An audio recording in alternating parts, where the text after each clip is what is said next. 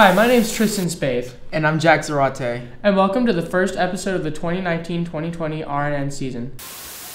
Hey Cougars, I'm Kylie Peterson, And I'm Aisha Monzon. and welcome to this week's newscast. I'm Michael Daniel. And I'm Aiden Weston.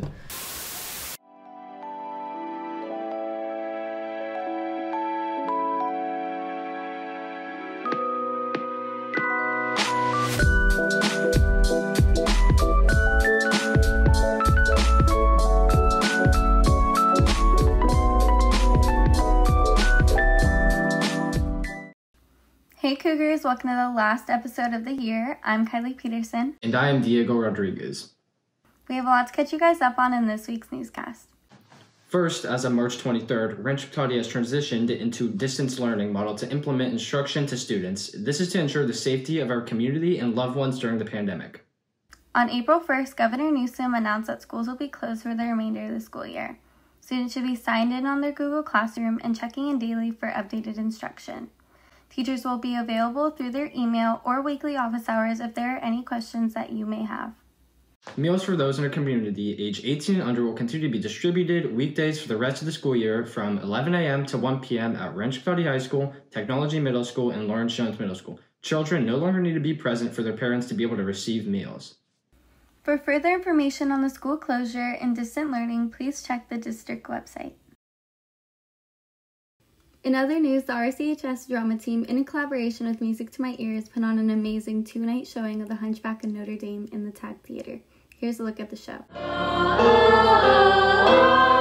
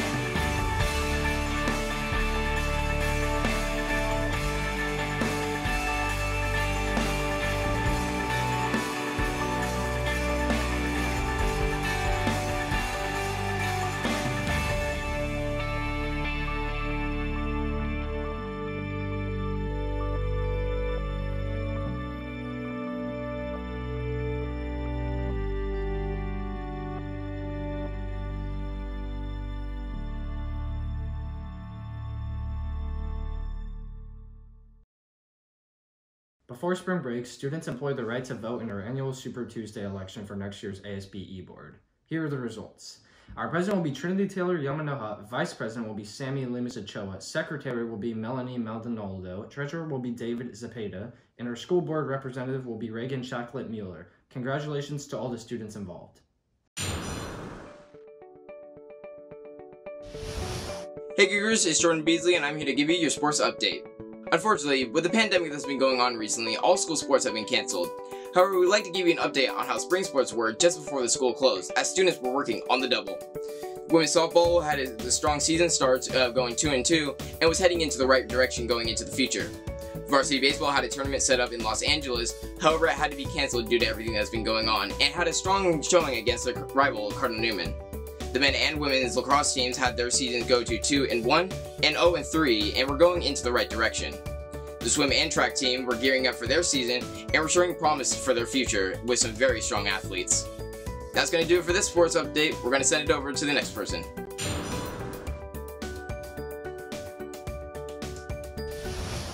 Congratulations to Kelvin Ortiz, whose short film Wake Up was one of 15 films selected for the Sonoma County Student Film Festival. Fantastic work.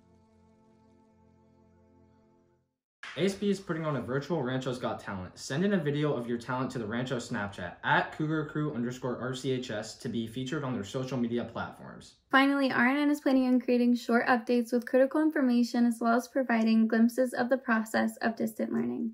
With the prospect of this being our last full episode of the year, we wanted to thank all of you for tuning in throughout the school year. We wanted to give a special thanks to our main sponsor, All Good Driving School, for their support of our work. We look forward to continuing our improvements of RNN in the 2020 2021 school year. And that is it for this update.